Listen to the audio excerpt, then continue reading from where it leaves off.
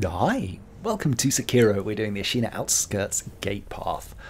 Uh, click the eye in the top right for access to info and show more uh, in the description for time codes to jump to specific bits. If you've done the general and want to explore the level, that starts at six minutes.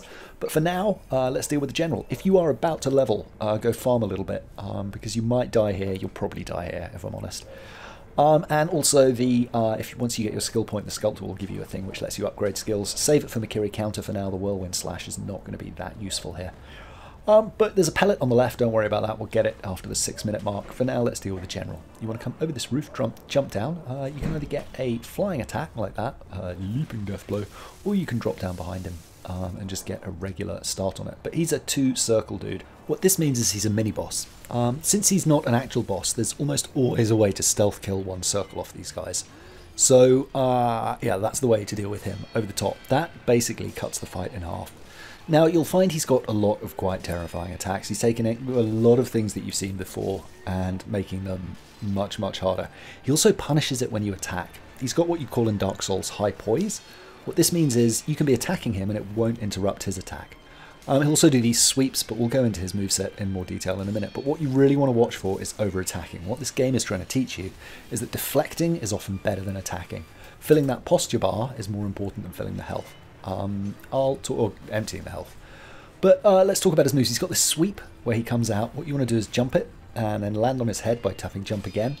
Uh, and it will do some posture damage. There you go. He often does two in a row. It can come after chops. It can come at the beginning of a fight. It can come out of nowhere. It can come after a leap. Um, you can also, as you saw at the beginning, punch interrupt it. Now, not to confuse it with this grab. He does it very infrequently. I think I got it once in about 15 goes at him. But there it is there. See, he'll raise his hand up compared to the sweep where he goes down low and puts out his sword to the left or right. There's the grab again. And here's the sweep coming from the other side. So just be wary of the difference. With a grab, you want to dodge away. That's the only thing you can do. Um, and it's probably going to kill you if it hits you. So mm, it's, yeah, terrifying. He also has these chops into sweeps. Um, there, he'll do a sweep, jump off his head. Uh, chop, chop, chop. What you want to do generally is block these. Watch for the sweep, follow up. He also has a series of chops. There's one that just missed. Uh, you can use that moment to heal if you need to. Better off using a fistful of ash uh, to make room for healing, though. Uh, we'll come to that in a minute. Uh, yeah, th that this last chop here really caught me out. I didn't realise he was going for it. So you kind of always want to be blocking and ready for the moves, and just be prepared to practice while you lose his moves, learn his move set, and get the timing. Oh here we've got some leaps coming. Hmm. These are deflectable, they're blockable. Um, you can attack through them, which is misleading, but you won't knock him down, and then he'll chop you in the face because you won't have time to block. So uh, you can also dodge around him and get him from behind, but we want to be doing posture damage to him. Um, I'll talk about that more later. There's me getting chopped because I'm overextending. Uh, watch for the little hand back slap uh, here. Uh, it'll follow up with a sweep. He broke my posture there and knocked me down. That wasn't the cleverest. And then he'll uh, sometimes do this where he regains posture if you let him complete, if you don't hit him soon enough. Uh, so always chase it. Here's Fistful of Ash. Don't overextend. Uh, it only gives you one free hit. It doesn't knock him out for a significant period of time. Um, yeah, see, he's kind of a nightmare. And you can just jump over this guy um, if you want to. You don't have to fight him now. But uh, here is a series of, well, it's just getting him to death blow and letting him back off. First of all, if you see the red dot, always go for it. If you miss it, he'll regain a ton of posture.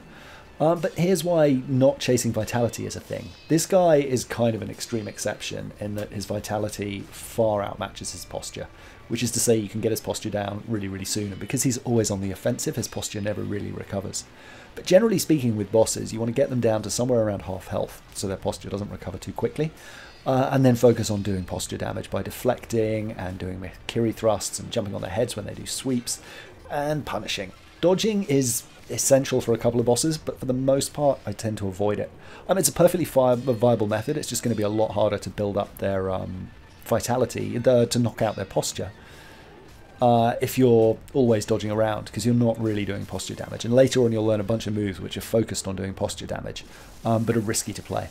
Anyway, here's the fight from the first stab. Um, I go on the offensive a little bit uh, just to drag some attacks out of him, and then it's just deflecting and waiting for sweeps. And because I'm not attacking, I've got time to read the sweeps coming.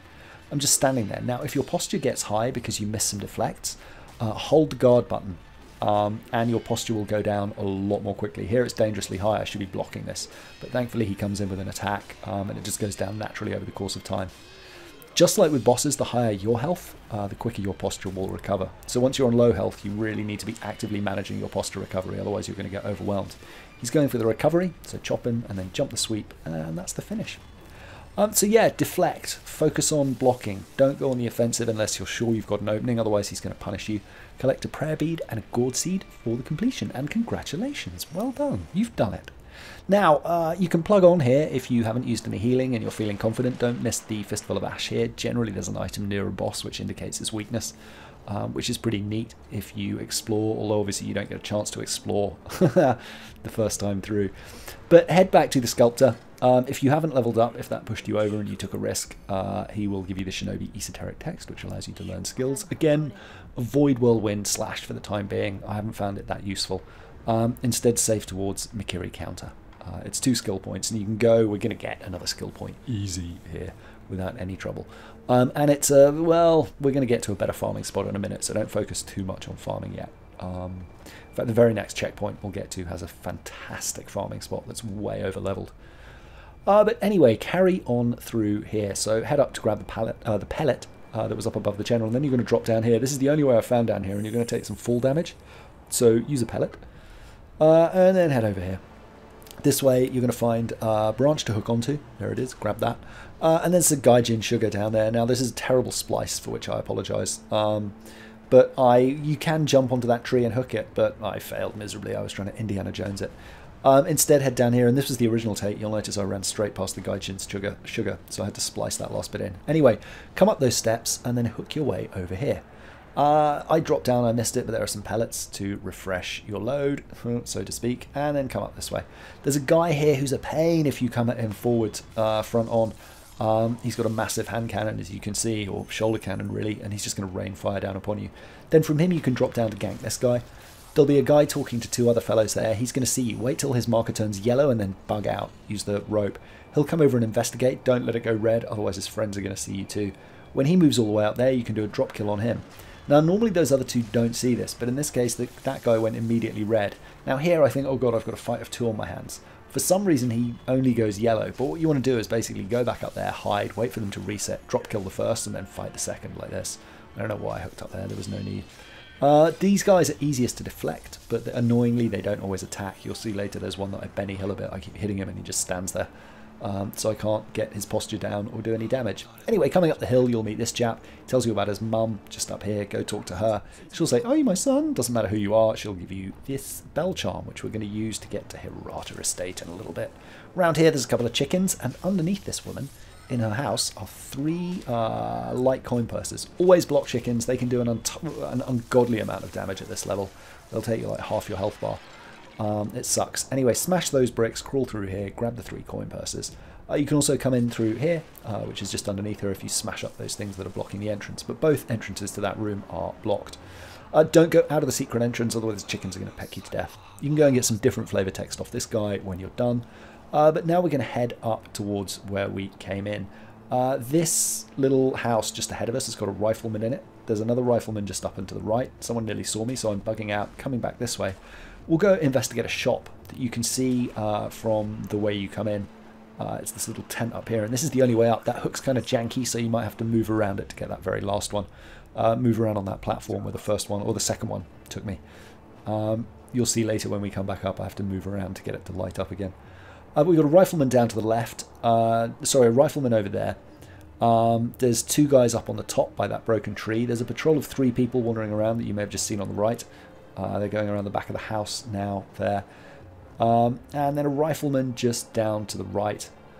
Uh, there's no one down there. There's normally one guy patrolling on his own, but for some reason he didn't come patrolling this time. He got stuck and just stopped. But this rifleman is your biggest problem. He's very sneakily positioned and will see a lot of what you do unless you get him early.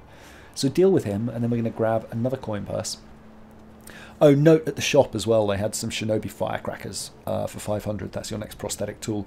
You've already found one coin purse previously. There's three underneath the old lady and one up on this roof, so that's 500 coins. That'll get you the firecracker if you don't have the money any other way, uh, which at this point you probably don't. Anyway, there's an eavesdrop opportunity. Normally I just rush over and gank those two, but um, I realised I didn't do the eavesdrop at the beginning.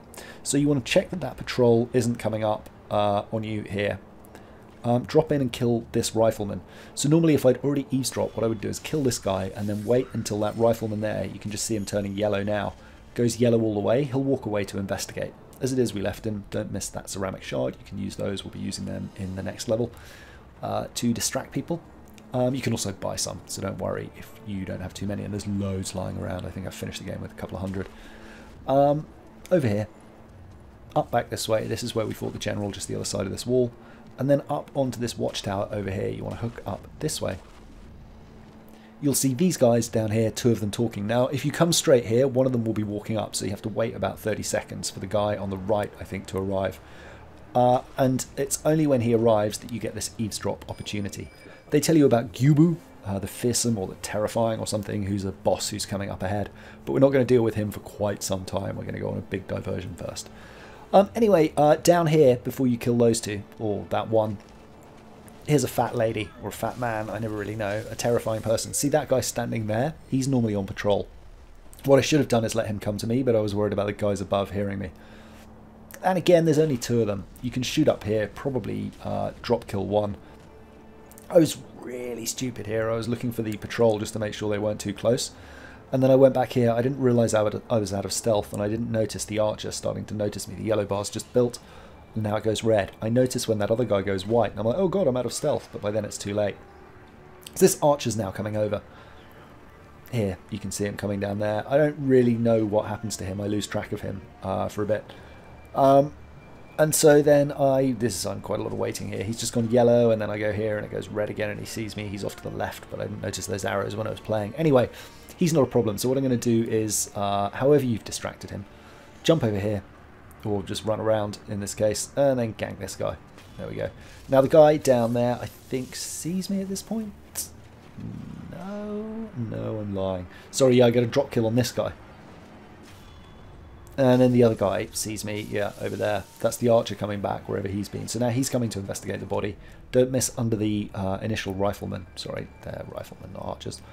Um, uh, Mibu Balloon of Wealth. That's going to give you extra money when you're grinding. Now I'm looking for the patrol to see what they're up to. There they are, there. Not doing very much. So I wait for them to split up. The rifleman is heading back up towards his dead friend, and those three are on the move. So, uh, first of all, the investigating the body has actually caused them to split up.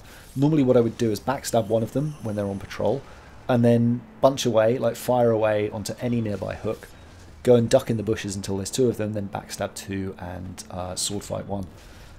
Um, it's up to you which one you want to backstab. This is the guy who, see, I keep attacking him and he doesn't attack back, uh, so it's impossible to take his posture down. In the end, I just keep going on him.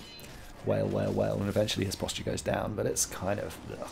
Those guys are a bit of a pain. Um, but deflect, and they take like two deflects and they die. It's pretty easy. Um, now we're heading back to, this is towards the lady's house uh, that we got the bell key from. And then it's up this way, now we've got our five coin purses. You can see here I have to move around a bit to get the um, angle on that hook because I missed it when I was in the air. And then from here, the bottom item that this guy sells, well, first of all, what you want to do is sell your uh, 5 light coin purses, or as many as you need to make 500. Um, and then buy the firecrackers. We're going to need another 150 really soon, because uh, there's another merchant right nearby who needs 150 sen to unlock, essentially. Um, but his story will make sense in a little bit. Make your way up here. Uh, this is where we killed the, um, the dude with the bazooka. And then over here. Now, uh, over here's a chicken. Watch for the chicken. Again, they can come out of nowhere and damage your health. There's a memory here that you can interact with to get a bit of backstory. And then if you look behind them, I missed this guy for so long. I can't believe I didn't see him initially. Uh, is a merchant. And he's going to tell you about that night that you were together that you don't remember. But don't worry, it'll make sense soon. Uh, give him 50 sen uh, to get a bit of background information on that, and then you can give him another 100 sen, and he will give you some information about the next prosthetic tool, a flame barrel, uh, which casts fire. Uh, and uh, we're going to need that for the ogre up ahead. Um, if you've already got the flame barrel when you speak to him, he'll give you two oil. Uh, but yeah, he looks forward to seeing me next. You can just travel somewhere and come back if you want to buy stuff from him, but he doesn't have anything remarkable that you really need at this point. Um, and we're going to be farming a lot of money where our next destination.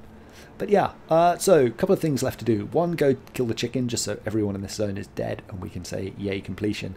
And two, on the way to the chicken, uh, pretty much where we picked up the first pellet when we fell down behind the bazooka man, you'll see over here. There's the bazooka guy. I've got to climb this wall. I this yeah, I'm not sure about this wall climbing. It always catches me out here. I don't know why. But there was the bazooka man there. You want to drop down onto this tree. Uh, I'm so used to going for the hook twice. I was doing it instinctively, muscle memory. I managed to hook my way off the side there. But it's a good demonstration that if you fall, it will take half your health. If you've got more than half health, it will put you back on the last platform you were on.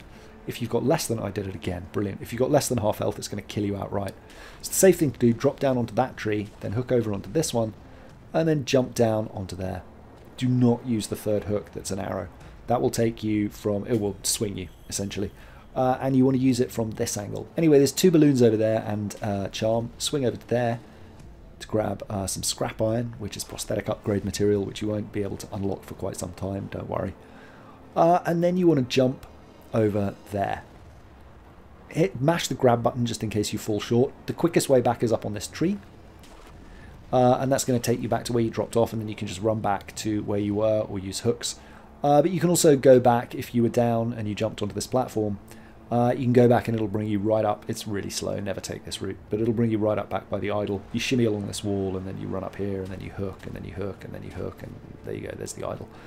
Um, but yeah, that is the end of the gate path. That's the zone down there. Uh, don't forget to go to the sculptor and upgrade your shinobi firecrackers. We're going to be heading over to there. There's two guys there, one up on the left and a chained ogre, but that needs fire. We don't have fire yet. It doesn't need fire. It's just going to make it a million times easier. Um, and there's a bunch of like the people you eavesdrop on ahead talk about fire for the red-eyed dudes, and there's loads of clues that fire is the way forward.